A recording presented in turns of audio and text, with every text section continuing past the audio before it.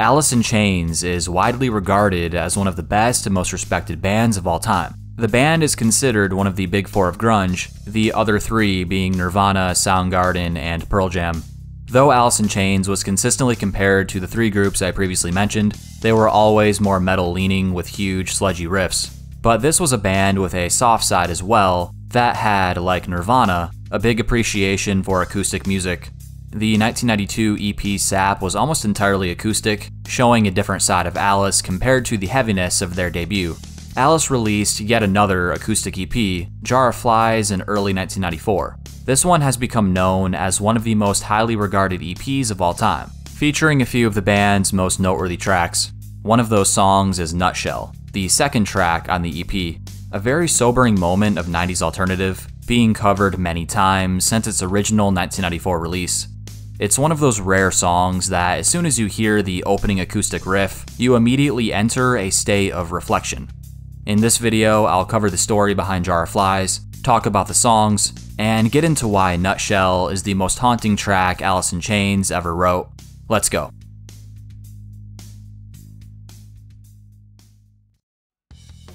Going into Jar of Flies, the band had been on a lengthy tour following 1992's Dirt, this was a rather tumultuous period for Alice in Chains, with Layne Staley's drug use intensifying, but he wasn't the only member that had an issue with drugs. Bassist Mike Starr did as well, to the point he was kicked out of the band in early 1993 in the middle of the Dirt Tour. This tour, which would ultimately become the band's final with Layne Staley, burnt them out significantly, putting their tenure to the ultimate test. So when the tour was finally wrapping up in late 93, the band desperately needed to decompress. In September 1993, coming off a much needed vacation, the band regrouped with the intention of recording some new music in the form of an EP. But a different approach was taken, with the band opting to write the tracks together instead of apart. In terms of the sound Alice was trying to capture, they definitely were against something heavy and loud. The band had reached a point in which they needed to write softer, more introspective tracks to recollect themselves. There's also the rather famous story of the band returning home from tour, only to discover they had been evicted. And this perhaps is another reason the band wanted to record the EP when they did, as they could move into the recording studio for the time being and have a little while to figure things out. Ultimately, the band booked a 10 day recording session on September 7, 1993, at Seattle's London Bridge but the tracks would come together in just seven of those days. Going into the recording process of Jar of Flies, the band had nothing written whatsoever aside from part of No Excuses. The band simply jammed and hammered out seven tracks in seven days. This was also the first release following Mike Starr's departure, and the first with new bassist Mike Inez. Though, if you want to get technical, Inez did appear on the two tracks what the Hell Have I and A Little Bitter for the Last Action Hero soundtrack earlier in 1993. So, without any clear ideas in mind aside from wanting a softer sound, the band got to work very quickly with limited time. But before I get into the tracks, let's go over the cover art and the title of the EP very quickly. The title, Jar of Flies, came from Jerry Cantrell's third grade science experiment. Here's a quote from Layne Staley describing the experiment in detail. They gave him two jars of flies. One of the jars they overfed, the other jar they underfed. The one they overfed flourished for a while, then all the flies died from overpopulation. The one they underfed had most of the flies survive all year. I guess there's a message in there somewhere. Evidently, that experiment had a big impact on Jerry. As far as the rather cryptic cover art goes, photographer Rocky Schenck took the job very seriously. Here's a direct quote from Rocky about the cover art from his Instagram. It was just me and my assistant and a child whose name I've forgotten. My assistant made multiple trips up the street to gather hundreds of flies with a butterfly net at some horse stables. The flies kept dying, the kid kept complaining, and my assistant kept gathering more flies. So clearly, capturing the now iconic photo for Jar of Flies was quite the task, but a task that was well worth it. Recording Jar of Flies was a very collaborative process. The band would hit record, jam, and develop the outline of a track, then send it upstairs where Layne was, and he would record a rough four track vocal demo.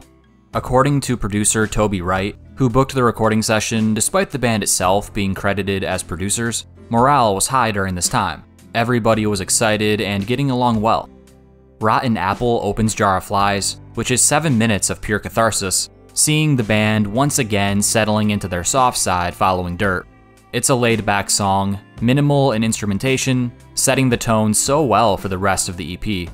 Layne offers a strong vocal melody, and Jerry utilizes a wah pedal and talk box over his guitar to give the track a more washy vibe. Sean Kinney complements Rotten Apple with rather sparse drum work, while Mike Inez is rhythmically entrancing on the bass. I Stay Away takes a more symphonic approach, featuring some dramatic strings to add extra color easily one of the biggest choruses of Jar of Flies, with Layne soaring vocals leading the way. This track is significant for being the first time the band properly wrote with Mike Inez.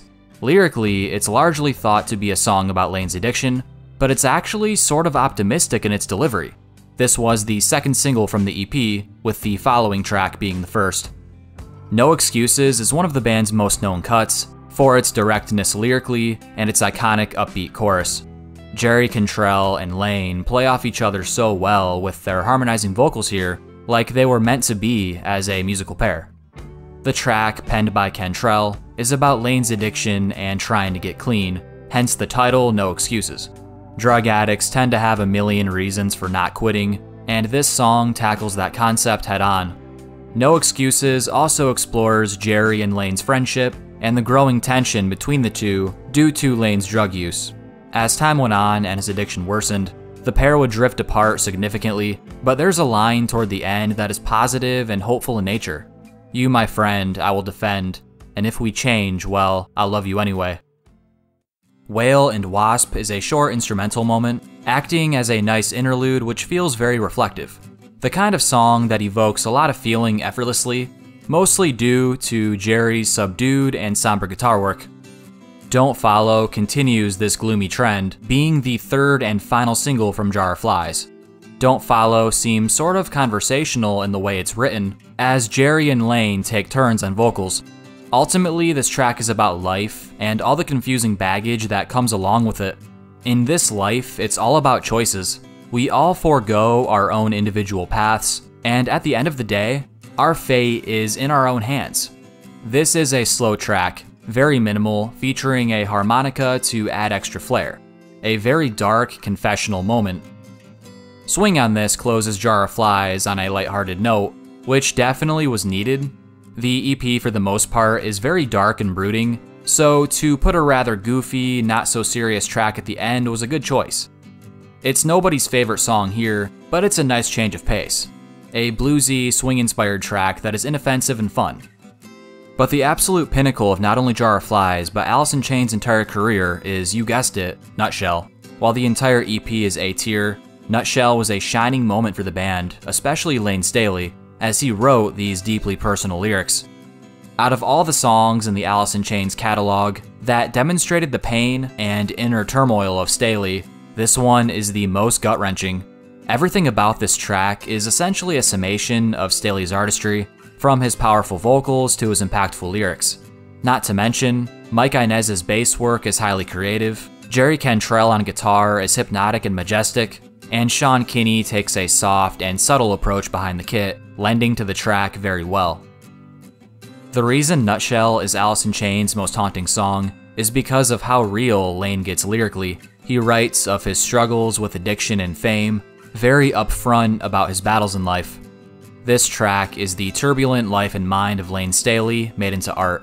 It's hard not to get goosebumps hearing the opening riff to Nutshell, but when the drums and Layne's vocals kick in, it's all over.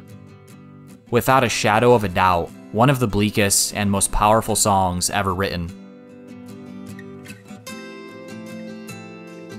Following the completion of Jar of Flies, the band wasn't even sure if they wanted to release it.